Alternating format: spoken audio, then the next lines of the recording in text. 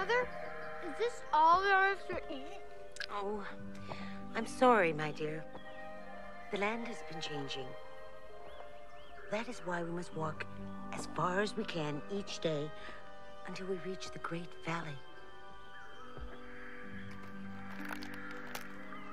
Littlefoot, quickly, come here. Look, up there.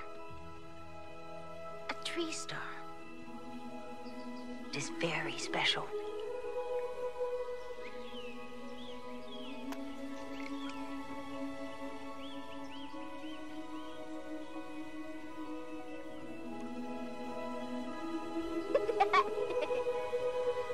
A tree star. It is very special. And it'll help you grow strong. Where we are going, there are so many of these leaves.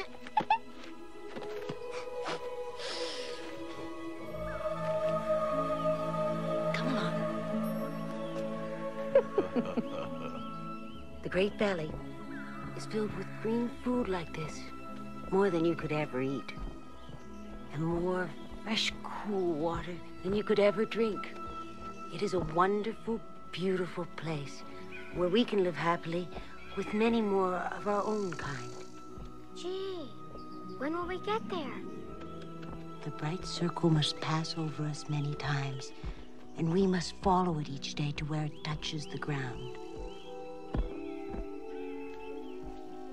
Have you ever seen the Great Valley? No. Well, how do you know it's really there? Some things you see with your eyes, others you see with your heart. I don't understand, Mother. You will, my son. You will.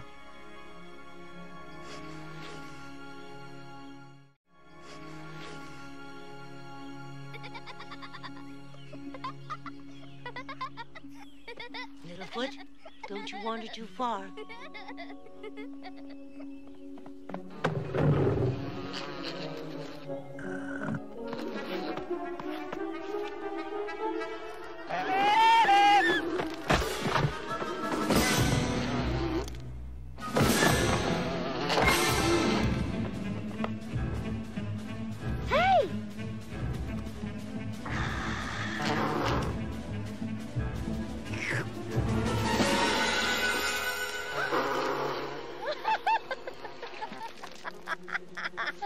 What are you laughing at?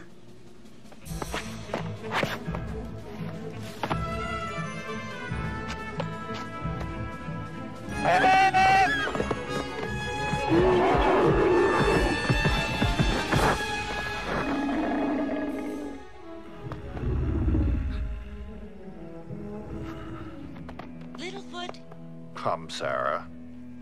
Three horns never play with long necks. Littlefoot,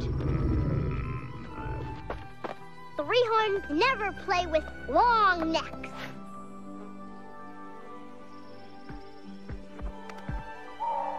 Long neck? Hmm. Mother, what's a long neck? why, that's what we are, dear. Oh. Well, why can't I play with that three horn? we were having fun. Well, we all keep to our own kind. The three horns, the spike tails, the swimmers, the flyers. We never do anything together. Why?